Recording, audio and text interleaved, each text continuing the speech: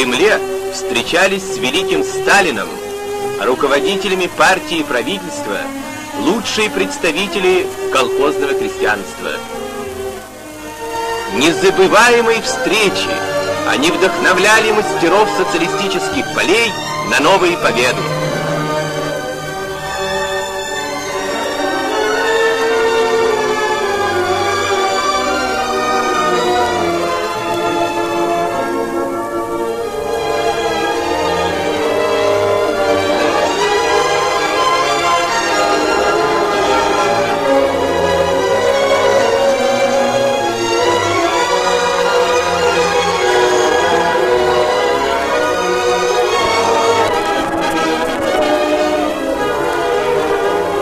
Представители свободных народов многонационального Советского Союза приносили сюда горячие чувства любви, преданности и благодарности товарищу Сталину и его соратникам.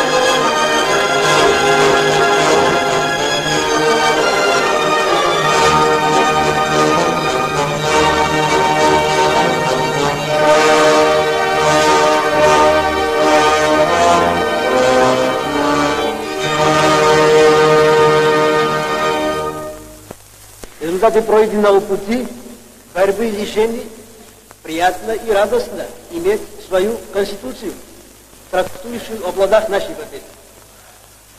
Приятно и радостно знать, за что бились наши люди.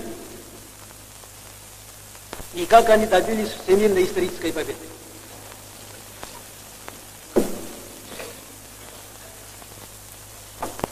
Приятно и радостно знать, что кровь обильно пролитая нашими людьми, не прошла даром, а дала свои результаты.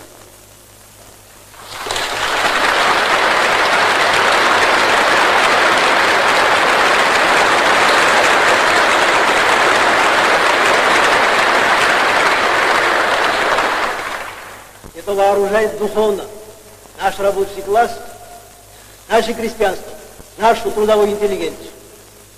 Это двигает вперед поднимает чувство законной гордости. Это укрепляет веру свои силы и мобилизует на новую борьбу для достижения новых побед коммунизма.